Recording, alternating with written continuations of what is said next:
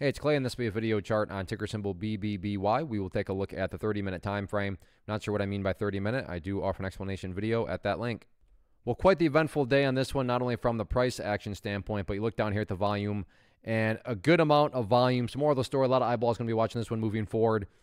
And now that the dust has settled, in my mind, there's a couple of well-defined areas that I think a lot of people will be watching. And I make that comment because when a lot of people are watching the same levels and wondering the same thing, Call it a self fulfilling prophecy, call it whatever you want.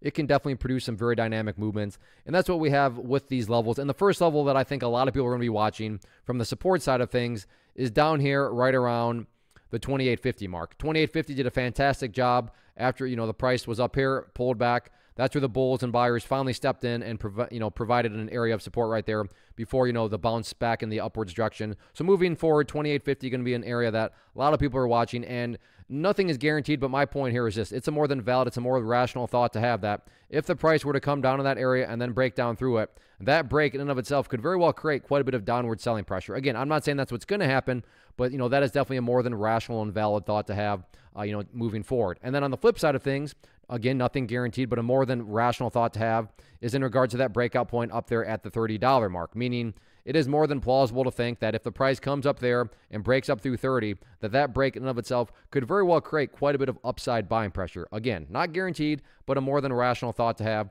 So definitely keep your eye on those couple levels moving forward. But again, main level of resistance, that breakout point at $30, key level of support down there at 28.50. So let's see how this one plays out on Thursday.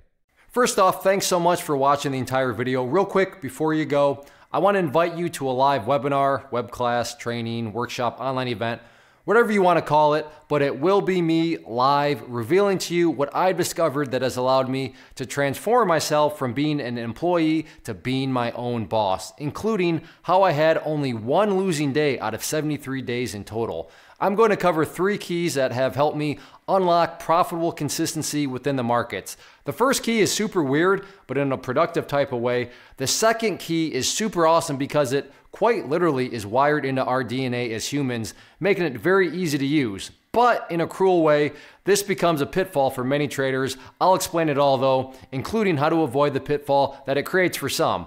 And yeah, the third key, when you hear it, sounds way too good, way too good to be true, but it's not, and I'll show you how it all works. Then at the end, I open it up for a question and answer session that is, again, totally live. Even if you can't make the live session, please still sign up as it will be recorded, and you can go back and watch the replay that I will send you.